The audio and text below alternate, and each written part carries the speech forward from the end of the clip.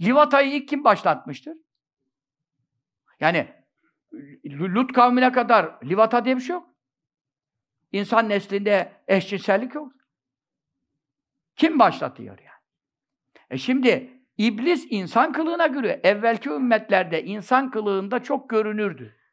Melekler de görünürdü imtihan için. İblisler de görünürdü. Bizim ümmette iş hepten gayba kaldı. Ama bunlar hadis-i şeriflerde geçiyor. E ne yaptı iblis?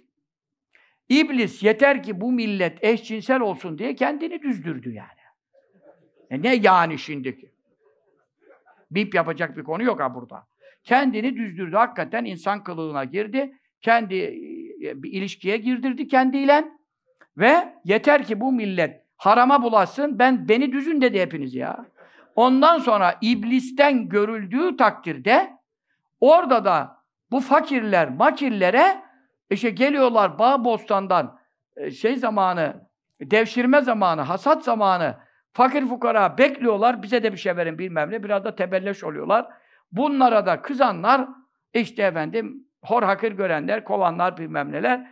Ulan sizi bilmem ne ederiz diye o iblisten gördükleri icraatı evvela fakirlere başımıza tebelleş olmayın, defolun gidin, malımıza ortak mısınız lan diyerekten o yakaladıklarını eşcinsellik yaptılar. İlk mesele buradan çıktı. E tabi bunu vakit olup da hiç anlatamadım. E bu biraz da detayını anlatmaya da lüzum yok. Şimdi size ders vermeye lüzum yok. LGBT'ler zaten milyon dolarlık şey kurmuşlar. Ders alıyorlar oradan herkes. Kimin ne, ne yapması gerektiğini. Allah şerlerinden muhafaza edin.